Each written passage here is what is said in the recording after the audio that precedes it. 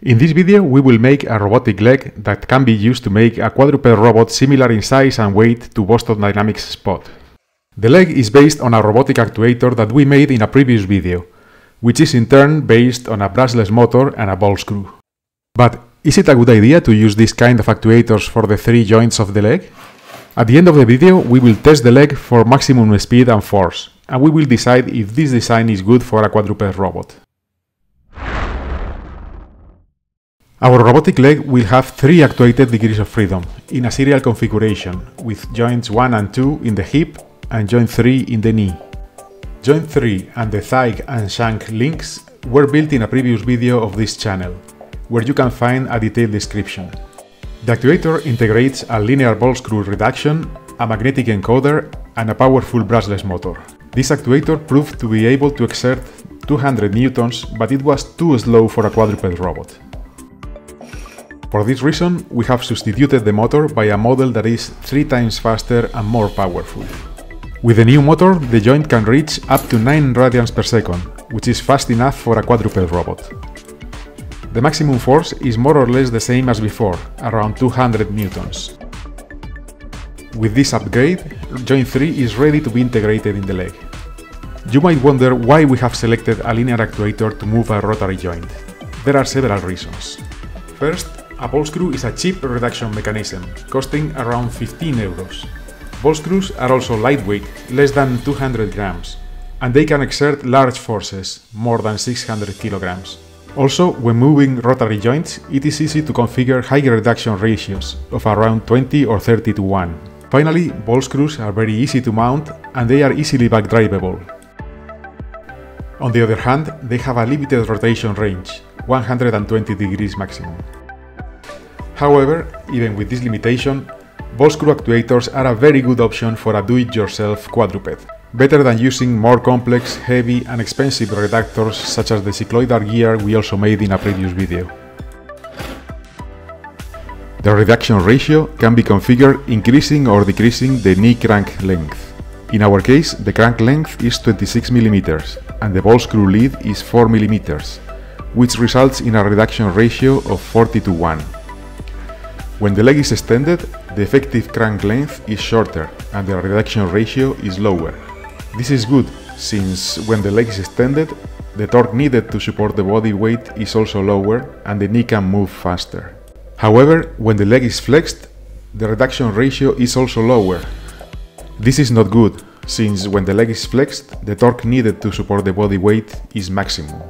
Then we must avoid supporting the body with the leg flexed, and this position should be used only for overcoming obstacles during leg transference. Nevertheless, given the advantages of ball screw actuators, joint 2 will have the same design. In this case we have used a big and powerful Turnigy brushless motor. Joint 2 can support the body weight better when the leg is extended, like joint 3. Joint 1 will have again a similar design but with some modifications. In this case, the actuator will exert linear forces perpendicularly to the actuator shaft. To achieve this, the crank is modified so that axial linear forces are redirected. In joint 1, a smaller motor model is selected, since the expected torques are lower. Now we will put the three actuators together to build the leg. We will use this bracket to hold together actuators 1 and 2.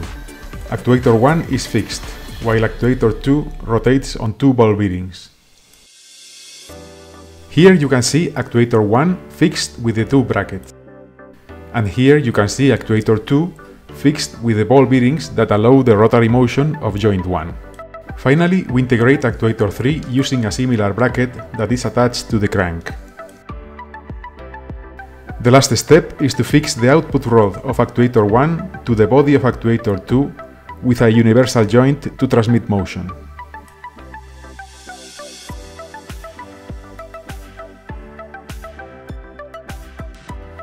And this is the final result, which weighs 5.7 kilograms.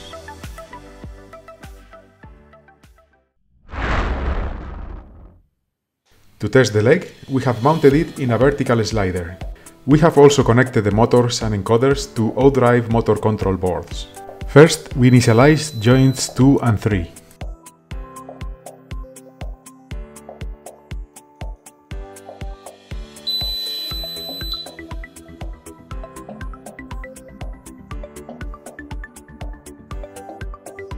Then we test maximum speed of joint 3 and of joint 2.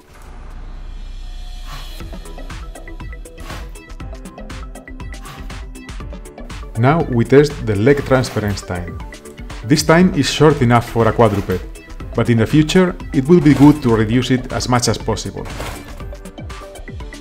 And finally, we test the force of the leg. Here you can see the leg lifting its own weight.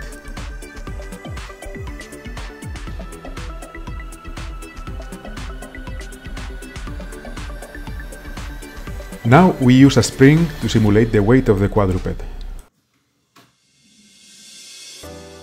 In the final test, the leg is able to lift almost 20 kilograms, and it is probably capable of lifting 25. This means that a single leg would be able to lift the weight of the whole quadruped.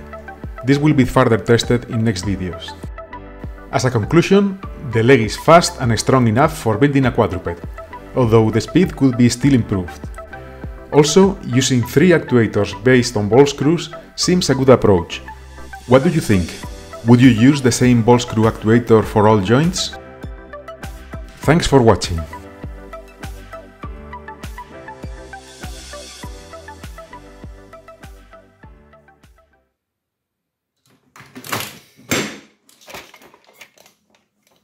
Ah, mierda.